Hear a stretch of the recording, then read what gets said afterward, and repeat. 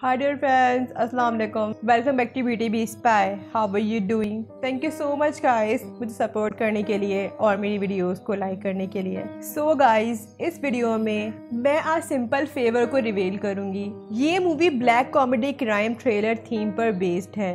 इस मूवी के डायरेक्टर हैं पॉल फेक ये मूवी एक 2017 नॉवल पर बेस्ड है अ सिंपल फेवर इस नॉवल के ऑथर हैं डार्सी बेल इस मूवी की ड्यू मेन लीड रोल्स है एना कैंड्रिक और Blake Lively a simple favour release हुई सितंबर 14, 2018 में। आईएमडीबी पर अ सिंपल फेवर को मिले हैं 6.8 stars out of 10 Rotten Tomatoes पर A Simple Favor 84 percent fresh है और इसका ऑडियंस स्कोर है 73 परसेंट अ सिंपल फेवर का मेटाक्रिटिक स्कोर है 67 okay guys let's go to reveal the movie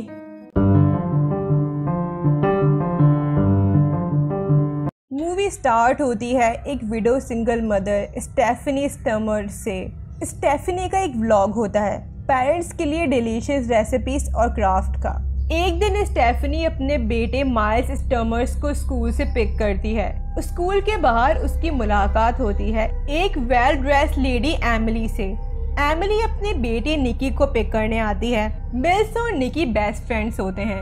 अब ये दोनों बच्चे अपने मॉम से प्ले डेट की डिमांड करते हैं। इसी वजह से स्टेफनी एमली के साथ उसके घर चली जाती है। एमली का घर काफ़ी बड़ा था और वो रिच से कम नहीं थी। एमिली स्टेफनी को बताती है कि वो पिया डायरेक्टर है एक मोस्ट फ़ेमस फ़ैशन कंपनी में।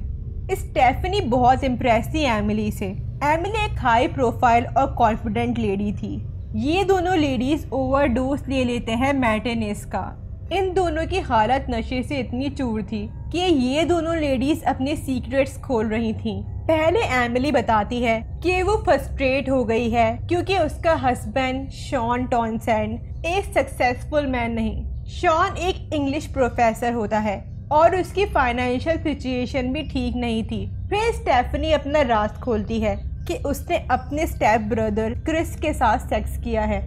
दिन ब दिन इन दोनों लेडीज़ की फ्रेंडशिप डीपर होती जा रही थी। एमली को अपने जॉब में मसले हो रहे होते हैं। इसीलिए वो स्टेफनी से मदद मांगती है। स्टेफनी निकी को बेबी सेट कर लेगी, क्योंकि शॉन भी लंदन गया होता है, अपनी इंजर्ड मदर के पास। दो दिन गुजर गए होते हैं, और एमली का कुछ अदा पता नहीं था। ना तो एमली की कोई कॉल आ रही होती है, और ना ही कोई टैक्स स्टेफनी कॉल करती है एमली के ऑफ़िस डेनिस लाइलॉन में।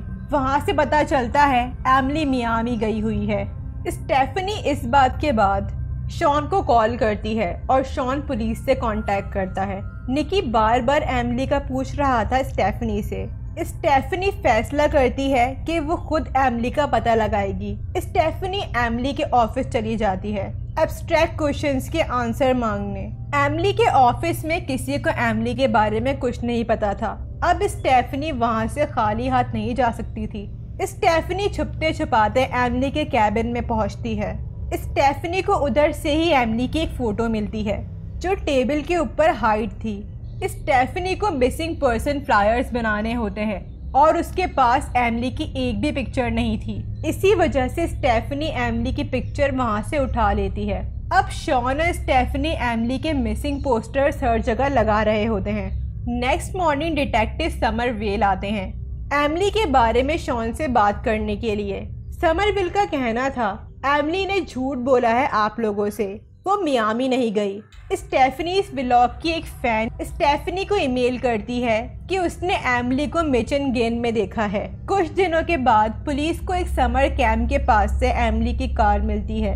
उस जगह की इन्वेस्टिगेशन के बाद एमली की डूबी हुई लाश एक लेक से मिलती है। एमली के फिनरल के बाद, स्टेफनी और शॉन एक दूसरे के गम में शरीक हो जाते हैं और इनकी ये अटैचमेंट इन दोनों को सेक्सुअल रिलेशनशिप में डाल देती है। Next detective Summerville Sean से एमली के हवाले से बात करने आते हैं। लेकिन शॉन घर पे नहीं होता। स्टेफनी उनका अटेंड करती है। डिटेक्टिव का कहना था, एमली का लिवर डैमेज था और एमली के बॉडी सिस्टम में भारी मकदार में हीरोइन मिली है। और डिटेक्टिव इस बात से हैरान थे कि शॉन ने एमली के लाइफ इंश्योरेंस के फोर मिलियन डॉलर्स निकाले हैं। अब स्टेफनी को लेटर रिसीव हो रहे होते हैं, जिस लेटर्स में स्टेफनी की सिर्फ़ इंसर्ट थी, जो भी उसके और उसके ब्रदर के बीच हुआ। इस बात से स्टेफनी को ये भी याद आ रहा होता है कि स्टेफनी का लेट हस्बैंड डेविस कैसे मरा था। डेविस को स्टेफनी और क्रिस पर शक था। इस शक के बिना पर वो स्टेफनी पर जासूसी करता था। एक दिन डेविस और क्रिस ये मिसअंडरस्टैंडिंग दूर करने के लिए लॉन्ग ड्राइव पर गए और उन दोनों की कार क्रैश में डेथ हो गई। इस हादसे के लिए स्टेफनी खुद को कसूरवार समझती रही। इन टॉर्चर लेटर्स में ऐसी ऐसी बातें लिखी थी, जो स्टेफनी ने सिर्फ़ एमली को बताई थी। स्टेफनी को अंदाज़ा था कि मिस्टीरियस पर्सन एमली के सारे राज जानता है। स्टेफनी को एमली के पास्ट के बारे में सब कुछ जानना था।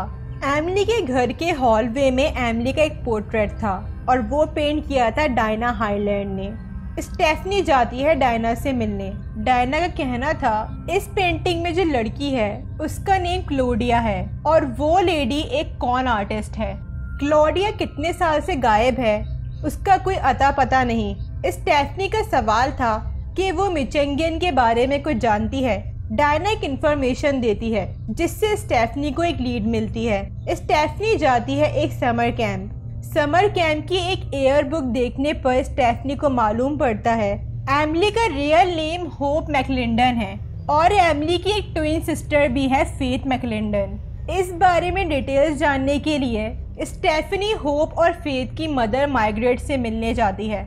माइग्रेट बहुत ही रूड वुमेन थी, लेकिन वो स्टेफनी को बताती है जब होप और फेथ 16 इयर्स की थी, उन दोनों ने विंग हाउस में फायर लगाकर अपने ही फादर को मार दिया और वो दोनों उस दिन के बाद से ही गायब है। सीन के दूसरे हिस्से में एमली सरप्राइज़ देती है शॉन को शॉन के फेवरेट रेस्टोरेंट में।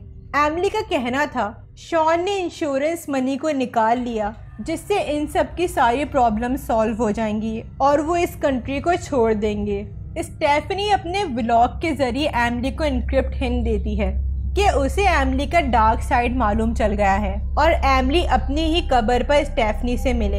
एमली स्टेफनी से मिलने आती है अपनी ही कबर पर। स्टेफनी कंफ्यूज थी ये देखकर। एमली बताती है कि वो होप है और इस बात का भी खुलासा करती है कि होप और उसकी ट्विन सिस्टर ने ही अपने अब्यूसिव फादर को आग लगा के मार दिया। और इन दोनों सिस्टर्स ने एक दूसरे से दूर जाने का सोचा। लेकिन इन दोनों का प्लान था कि एक मुकाम पर पहुँचने के बाद ये दोनों फिर एक दूसरे से मिलेंगी। लेकिन फेट कभी वापस ही नहीं आई और एमली अपना करियर और फैमिली बिल्ड करने में लग गई। फोर्टीन ईयर्स गुजरने के बाद फेथ ने एमली से कांटेक्ट किया। एमली अपनी ट्विन सिस्टर से मिलने गई। फेथ एल्कोहलिक और हीरोइन एडिक्टेड थी और फेथ ने एमली को ब्लैकमेल करना शुरू कर दिया मिलियन डॉलर्स देने के लिए। वरना वो पुलिस को इन दोनों के क्राइम के बारे में सब बता देगी। लाचार होकर एमली मान जाती है। एक्साइटमेंट में फेथ लेक में स्विमिंग करने भागती है। एमली भी उसके पीछे जाती है और एमली अपने डिफेंस में फेथ को डुबा के मार देती है। और फेथ की उसी वक्त डेथ हो जाती है और एमली फेथ की डेड बॉडी लेक में ही बहा देती है। लेकिन एमली स्टेफनी को झूठ बोलती है कि फेथ ने सुसाइड कर ली थी और वो ये भी झूठ बोलती है कि इंश्योरेंस स्कैम का प्लान भी शॉन का था। एमिली इस बात से गुस्सा थी कि शॉन ने स्टेफनी के साथ रिलेशनशिप कर लिया और स्टेफनी इस बात से गुस्सा थी कि शॉन ने एमिली को एक्सेप्ट कर लिया। एमिली स्टेफनी के गुस्से से पूरा फ़ायदा उठाती है। और एक प्लान बनाती है। स्टेफनी एमली को पब्लिक की नज़रों में फिर से ज़ाहिर करे और ये स्टेटमेंट दे कि शॉन ने एमली पर जुल्म किया है और शॉन एमली को अब्यूज़ करता है। स्टेफनी एमली की बात मान जाती है। शॉन अरेस्ट हो जाता है, लेकिन कुछ देर के बाद वो बेल पर रिहा हो जाता है।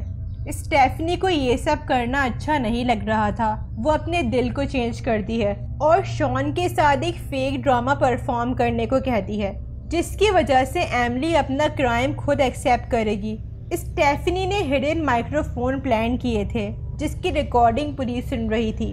अचानक बातों बातों में स्टेफनी शॉन को फेक शूट करती है। एमली इमोशनल होकर अपना क्राइम कन्फेस करती है। लेकिन शॉन की ओवर एक्टिंग के बिना पर एमली को अंदाज़ा हो जाता है कि ये एक छल के सिवा कुछ नहीं, और वो अपने ब्रेसलेट में से हिडन माइक्रोस्कोप को तोड़ देती है। एमली का कहना था कि मैं तुम दोनों को मारकर इसे मर्डर सुसाइड का नाम दे दूँगी। ये कहते ही एमली शॉन के शोल्डर पर शूट करती है। फिर एमली अपने गन का मुँह स्टेफनी की तरफ़ करती है। लेकिन बैम स्टेफनी के ड्रेस में बटन की जगह एक हिडन कैमरा था, जिसमें स्टेफनी के व्लॉग पर लाइव स्ट्रीमिंग चल रही थी। एमली ने सबके सामने अपना क्राइम कन्फेस किया होता है। एमली वहाँ से भागती है, लेकिन स्टेफनी इस व्लॉग का एक फ़ैन उसे रोकने के लिए कार से हिट करता है। एमली अरेस्ट हो जाती है। क्लोजिंग टेक्सिस में बताते हैं, शॉन की second novel New York time best seller novel बन गई थी और वह ब्रैकले का फ़ेमस प्रोफेसर बन गया था। जहाँ तक बात रही स्टेफनी की, वो किसी को डेट कर रही थी। स्टेफनी के व्लॉग के वन मिलियन फॉलोअर्स हो गए थे, और उसका शो मॉर्निंग शो में कन्वर्ट हो गया था। और वो पार्ट टाइम डिटेक्टिव भी थी। लास्ट में एमली प्रिजन में होती है, और वो बास्केटबॉल मैच विन करती है अगेंस्ट कैदियों से। The end okay guys let's go to reveal the ending 14 years बाद जब फेद ने एमली से कांटेक्ट किया एमली खुश थी, लेकिन फेद ने एमली को धमकाना शुरू कर दिया। तो एमली ने एक माइंड ब्लोइंग प्लान बनाया। एमली स्टेफनी के व्लॉग देखती थी और एमली ने स्टेफनी के अकेलेपन का पूरा फ़ायदा उठाया और उसे अपने करीब कर लिया, ताकि बाद में एमली स्टेफनी का यूज़ कर सके।